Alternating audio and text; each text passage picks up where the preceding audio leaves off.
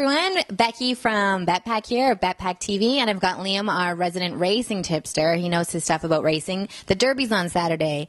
What what have you heard? What's going on? Any anything you know about any of the horses? Well, Becky, this morning 13 horses were declared, so that's Okay. the, there's 13 declared at the moment. Now, the favourite is on the drift, Carlton House, owned by Her Royal Majesty the Queen, but um, had a little bit setback during the week, suffered a minor leg injury, but seems to be working okay. But decision will be made tomorrow whether he'll run or not. Now, Aidan O'Brien is one that is going for a third win in this race. He's three runners in it.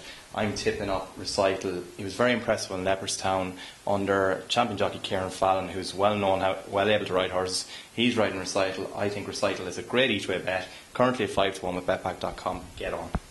okay, you heard it here. Recital each way. That's from Liam. And if he's wrong, he owes us all a pint.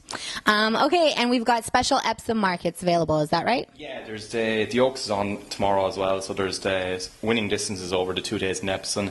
Uh, the, there's also favourite betting. The, um, what the favourites add up to in betting prices. There's a few markets there, so check out betpack.com on the Epsom page. There's specials there. So keep it. Okay, you heard it all here on Betpack TV.